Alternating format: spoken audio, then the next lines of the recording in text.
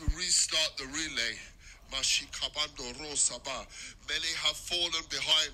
Many have said, I don't know if I can keep up. Many have said, Have I still got it? Have I still got it? The Lord says, I have reset the relay to give you time to catch up.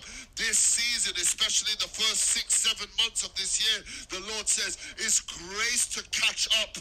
Grace to catch up. The Lord says, I have not forgotten you. Do not think that I've forgotten you. You have not been left behind. Then I have restarted the relay so that you have time to catch back up. Whether you were the first runner, the second runner, the third runner, or the finisher, God says, I've reset the race so that some of you can catch up because there is a predestined appointment and assignment that you have.